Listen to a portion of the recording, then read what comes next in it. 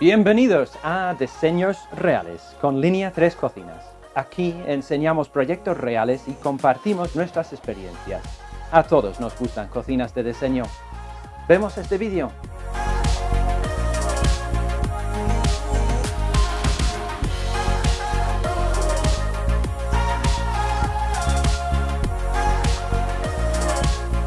Hola cocineros, bienvenidos una vez más a nuestro canal de YouTube.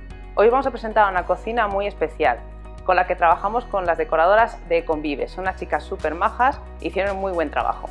La distribución de esta cocina eh, fue bastante eh, complicada porque nada más entrar a la vivienda eh, teníamos un tabique y entonces decidimos tirarlo para que quedase todo mucho más diáfano y se pudiese ver la cocina y el, salón desde la entrada.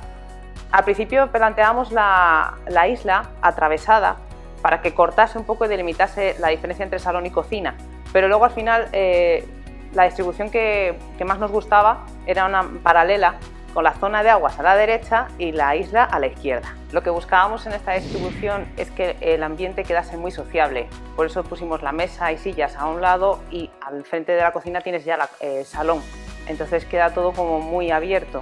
Eh, la distribución la tenemos dividida en tres zonas, una zona de aguas con una zona de almacenamiento, la zona de la isla que está la placa con la campana y luego una zona de columnas. En este proyecto la peculiaridad que teníamos es que el cliente es muy alto, entonces eh, lo que hicimos fue poner el zócalo de 15 centímetros en vez de 10. Normalmente llegamos a una altura de 92 centímetros para una persona más o menos poder trabajar con comodidad, pero en este caso decidimos subirlo y así teníamos más altura de encimera sin que incrementase el coste del proyecto, ya que regresar a una encimera tiene un coste adicional. Al tratarse de una cocina integrada en el salón, eh, queríamos que nos llamasen la atención los electrodomésticos.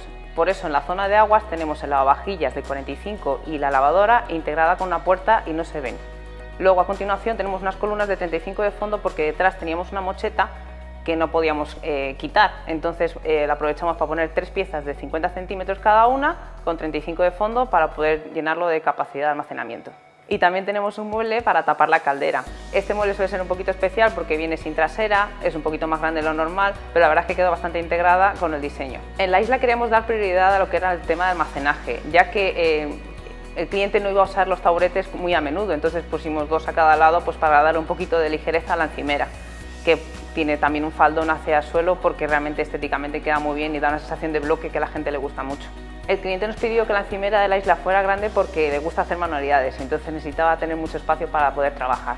Eh, la isla, en la parte de atrás, tiene unas puertas que simulan que realmente son puertas, pero no lo son, porque realmente de capacidad no teníamos mucho fondo. Entonces eh, hicimos como si fuera una puerta con su tirador para que simulasen que hay más almacenamiento por el otro lado. En la zona de columnas tenemos la columna no microondas, el frigorífico y un mueble despensero para tener más capacidad. Arriba lo que hicimos es cerrarlo con una especie de botellerito para que ponga decoración, algunas botellas y, y que aligerase un poco todo lo que es esa zona.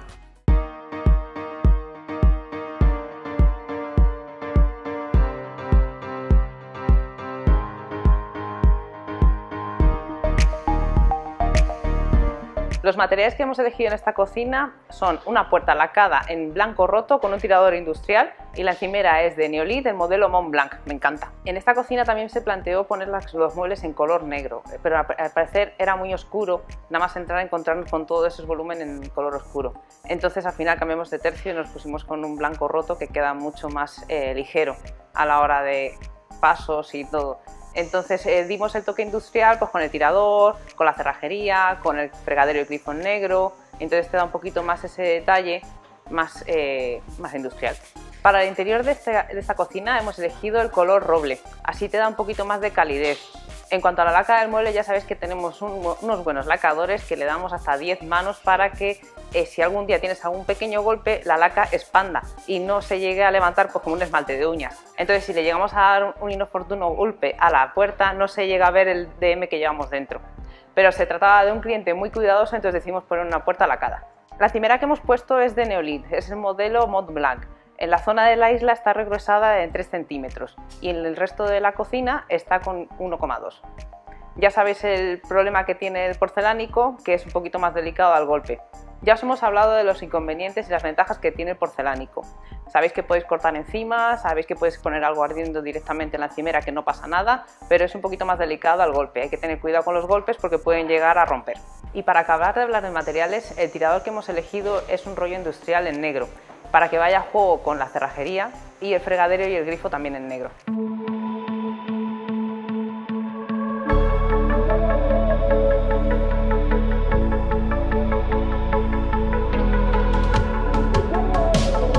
Para los electrodomésticos hicimos una composición de varias marcas. El frigorífico es en cristal negro de la marca Balay, igual que la placa de inducción de 60 centímetros. El horno y el microondas son de la marca EG y los tenemos en una composición en columna, en la que aprovechamos el espacio tanto inferior como superior. Y los electrodomésticos integrados, tanto la lavadora como el lavavajillas, son de la marca de Electrolux. En este caso la lavavajillas es de 45, es un poquito más pequeñito de lo normal, ya que el cliente vive solo y no quería tampoco tener lavavajillas más grande y tener más espacio de almacenamiento. Un lavavajillas de 45 es perfectamente apto para una vivienda en la que están hasta tres personas viviendo. Simplemente se pone más y lo que podemos hacer es dosificarlo con el detergente. En vez de que sea una pastilla, lo podemos utilizar de gel que nos eh, permite nivelar eh, la cantidad que le echamos al detergente a lavavajillas. La campana que hemos puesto en este proyecto es el modelo Lulavi de Helica. Es de 120 de medida, en color madera y se caracteriza por tener mucha iluminación que nos ayuda a la hora de zona de trabajo y la podemos regular tanto en fría como en cálida. Esta campana se caracteriza por tener dos opciones, aspirante y filtrante. En este caso es aspirante con salida al exterior. Se caracteriza por tener unos decibelios muy bajos, de 53 decibelios. Eso significa que apenas hace ruido. Como estamos cara al salón, no tenemos nada que nos moleste hablando de electrodomésticos, una cosa vital para el cliente era tener un tipo de enchufe o algo donde poder conectar algún aparato en la isla. Entonces lo que hicimos es ponerlo en la parte de atrás donde estaban las puertas para que no se viese mucho nada más entrar.